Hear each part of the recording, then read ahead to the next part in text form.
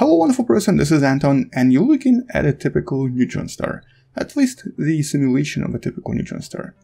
It's spinning really fast, but as you can see, it doesn't actually look like a typical spinning object, which is of course due to the extremely strong relativistic effects that these stars experience very close to their surface.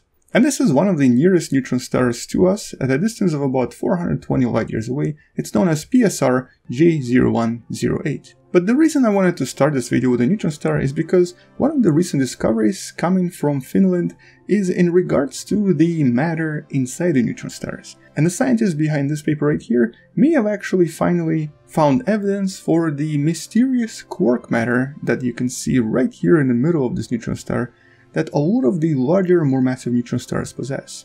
So let's talk a little bit more about this and welcome to What Da Math.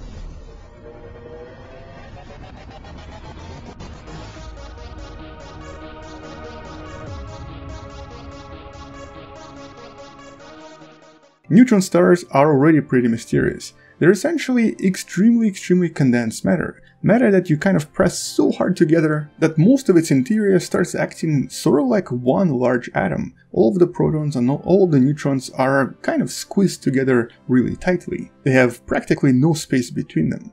And at this point, the entire object starts acting a lot differently from any other matter we have here on planet Earth. But there have always been speculations about these so-called quark stars or basically stars that possess even more extreme type of matter known as quark matter. And some research even suggested that maybe we can find it inside more massive, more unusual neutron stars as well. This quark matter is actually, I guess, kind of difficult to imagine. So first of all, there are quite a lot of different subatomic particles, and some of them end up creating larger particles that we're more familiar with, like proton and neutron. This animation here kind of shows you how sometimes protons and neutrons interact with each other by sending other subatomic particles toward each other, and this is of course how some of the nuclear reactions work. So the idea here is that proton itself is made up of other subatomic particles. But generally speaking, the connection between them, the actual strength between them is ridiculously strong, which is why it's actually known as the strong force. The strong force is about 137 times stronger than the electromagnetic force, and like trillions and trillions and trillions of times stronger than the gravity itself. So this is the strongest force we have in the universe, and it's responsible for holding these particles together. But the action of strong force can only be felt at really really short distances, so it will never be felt between particles that are farther away. Unless of course you bring those particles much closer together, such as for example in extremely dense and extremely compact environments, such as a neutron star. Inside a neutron star, the pressures will reach such tremendous levels that at some point even the protons and the neutrons can start breaking apart and create just the quarks themselves. They essentially form a kind of a liquid-like formation known as quark matter. It does act sort of like a liquid, but not a classical liquid, a liquid we usually refer to as Fermi liquid, and at the same time, it possesses a lot of other properties we're currently still investigating, we're not even sure what exactly it does mostly because so far it's still kind of theoretical. But hypothetically, if this quark matter is real, it will always be formed in extremely high temperature conditions and also extremely high density or pressure conditions. So a neutron star is a perfect place to find these unusual formations. And just to give you a really interesting comparison here, on a completely opposite side of the scale, that is if you reduce the energy and the temperature to extremely low levels and you also reduce the density, you'll get this other type of matter known as Bose-Einstein condensate. And this is when all of the particles sort of stop moving and start acting like this huge, large particle altogether. They essentially start forming these extremely large and massive quantum states. They all start acting like one single particle. And since we've been able to create these in the lab, we know that this is real, and so is the quark matter probably. But unlike Bose-Einstein and condensate, quark matter we cannot create in a lab, simply because of the absolutely ridiculously extreme conditions required to produce this particular type of matter. It just requires way too much heat and way too much density. Right now, it's still kind of theoretical because we don't really know how to make it. But today we believe that quark matter existed in these first few seconds of the existence of the universe itself, and it may also still exist today, and not even only in neutron stars. So trying to understand what neutron stars may possess on the inside could actually help us understand a little bit more about quark matter as well. And so the scientists behind this paper Based on some of the new observations of neutron star collisions and also the discovery of the most massive neutron star that was roughly around two masses of the Sun, we're able to create a very interesting model that essentially created a kind of an equation of a state for a really massive neutron star or for a neutron star that created this particular collision. In other words, they were able to use the new determination of the radius and mass of a typical neutron star and then used a lot of different calculations to determine if ordinary matter, basically non-quark matter, could actually allow for such objects to exist. And they realized that for a really massive neutron star to exist, at some point things actually kind of start breaking down, specifically in regards to the so-called speed of sound. It actually starts approaching the speed of light, and that creates conditions that are very difficult to explain with the current physics. But if a neutron star possesses a really really massive core made up of quark matter, also known as strange matter, this would explain how a neutron star can still exist and still stay stable and not violate any laws of physics. In other words, they provide theoretical evidence that inside of a typical large and more massive neutron star, over about 1.4 masses of the Sun, there's probably at least some quark matter present on the inside.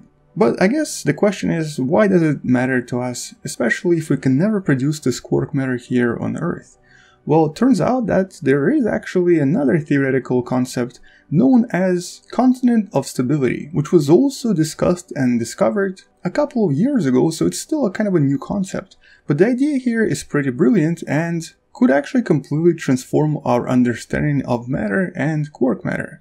The idea is as follows. At certain point, when an atom gets to really, really large atomic masses. Here we're talking about going beyond the periodic table to uh, mass numbers of about 300 or actually more specifically 315, we can reach a point where the atom becomes so massive and so compact that it starts acting like quark matter and becomes what's known as UD matter or up-down matter.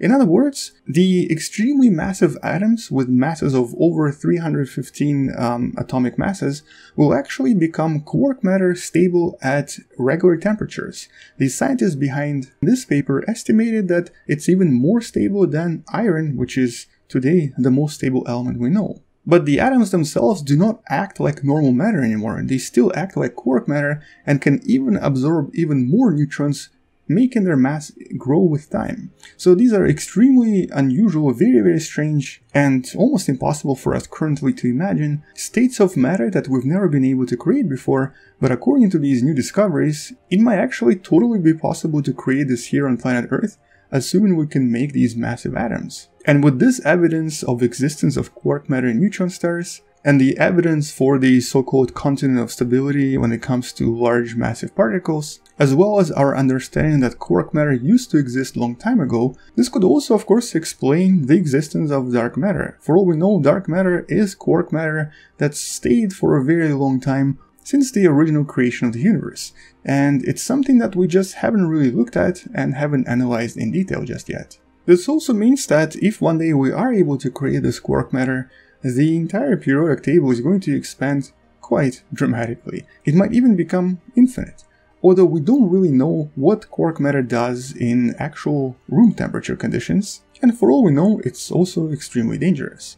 But nevertheless, it's an extremely interesting discovery and confirmation, and whoever is able to create quark matter in a lab in the next few decades is most likely going to be the next Nobel Prize winner. Although let's just hope it doesn't lead to something like this happening here on planet Earth because we don't really know what quark matter does to regular matter. But anyway, it's a really interesting discovery. These exciting papers that came out in the last two or three years have actually redefined our understanding of not just physics, but also chemistry that we thought we understood pretty well.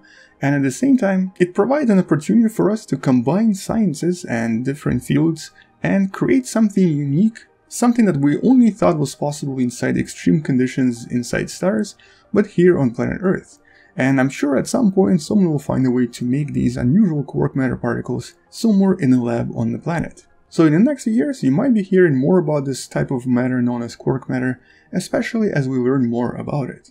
Until then though, that's all I wanted to mention in this video. Thank you for watching, subscribe if you still haven't, share this with someone who loves learning about space and sciences, and check out the papers I mentioned in the description below.